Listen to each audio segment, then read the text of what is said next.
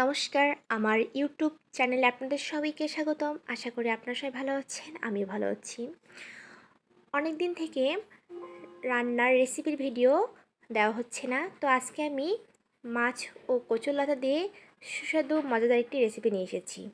অবশ্যই আপনাদের ভালো লাগবে আর ভিডিওটি না টেনে সম্পূর্ণ দেখবেন। তো আমি প্রথমে মাছগুলো ভালোভাবে ভেজে নেব। লালচে করে অবশ্যই ভেজে নিতে হবে। আর যদি অল্প মানে হালকা আঁচে ভেজে নিই, তাহলে দেখা যাবে মাছটা একটু নরম থেকে যাবে আর তরকারির মধ্যে দিলে মাছটা মানে ভেঙে যেতে পারে। তো অবশ্যই ভালোভাবে ভেজে নেব। এরপর আমি মাছ নামিয়ে নিচ্ছি। অবশিষ্ট তেল থেকে গেল। এর মধ্যে আমি আগে রেডি করে রেখেছি সব কিছু উপকরণ। এরপর আমি দিয়ে দিব পেঁয়াজ কুচি। দিয়ে দিব রসুন বাটা। হালকা একটু নেড়ে নিতে হবে।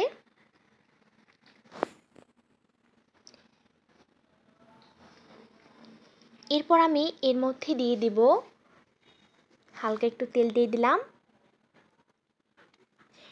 এরপর আমি দিয়ে দিব সাদা এলাচ, বড় এলাচ। দিয়ে দিব তেজপাতা। হালকা একটু নেড়ে নেব। তো এরপর আমি দিয়ে দিব পাঁচফোড়ন, দিয়ে হালকা একটু ভেজে নিলাম। এর মধ্যে আগে পরিষ্কার করে রাখা কচুরলতি দিয়ে দিব।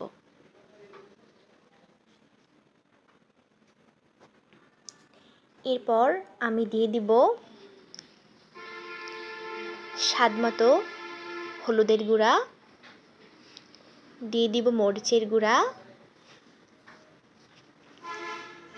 এবং স্বাদ মতো লবণ। সবগুলো উপকরণ ভালোভাবে নেড়ে নেব।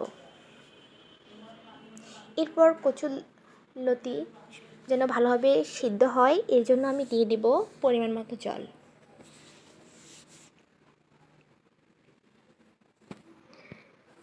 পরিমাণ মতো জল দিয়ে দিলাম। এরপর আমি ঢাকনা দিয়ে দিব। এরপর ঢাকনা উঠিয়ে নিয়ে আমি দিয়ে দিব লেবু। অনেক সময় দেখা যায় যে কচুলতি মুখে ধরে। তো আপনি যদি রান্না করার সময় একটু লেবু দিয়ে নেন, তাহলে অবশ্যই আপনার খেতেও ভালো লাগবে আর মুখে যে ধরে, এটাও কমে যাবে। তো এরপর আমি হালকা একটু নেড়ে নিয়ে ঢাকনাটা দিয়ে দিব।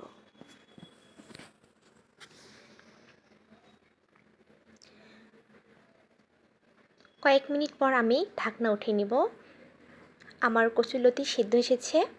এরপর হালকা একটু নেড়ে নিব।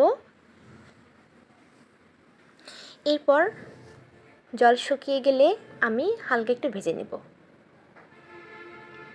এর মধ্যে দিয়ে দেব আমি আদা বাটা।